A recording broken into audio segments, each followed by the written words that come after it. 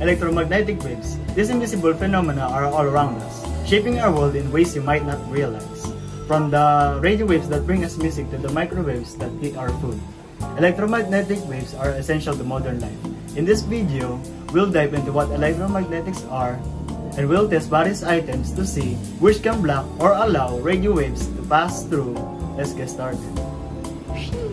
To see how these materials will affect radio waves, we'll measure signal strength with and without materials in place.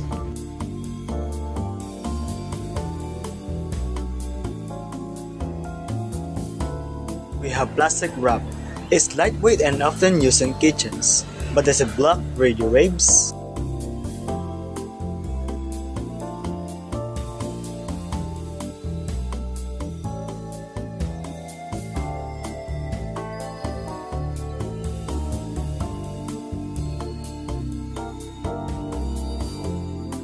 The signal strength remains fairly strong. Plastic wrap allows radio waves to pass through easily.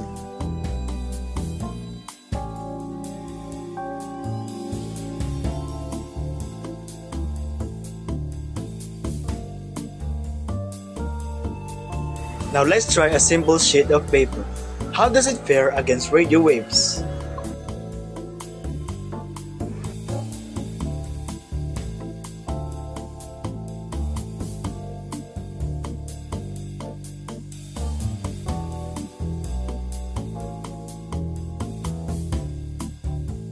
The results show only a slight reduction in signal. Paper doesn't block radio waves much at all.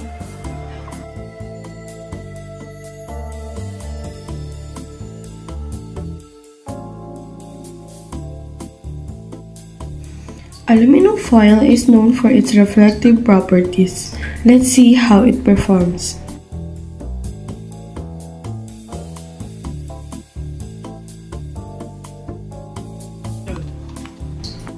As expected, the signal strength drops significantly.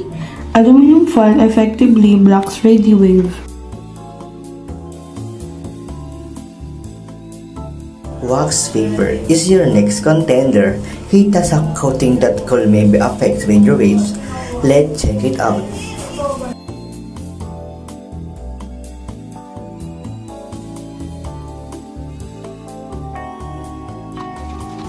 Interestingly, wax paper allows most of the signal to pass through, just like regular paper.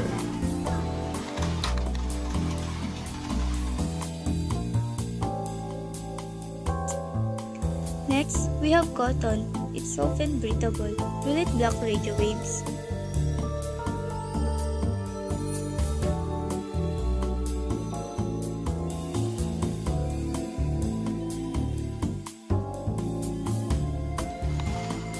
The signal is still strong, indicating that cotton allows radio waves to pass through quite well.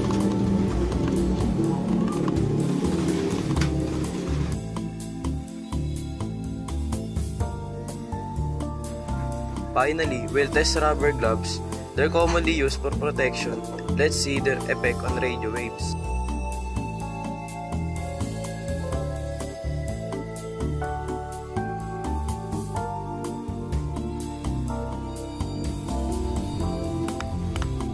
The gloves create a noticeable drop in signal strength. Rubber effectively blocks radio waves.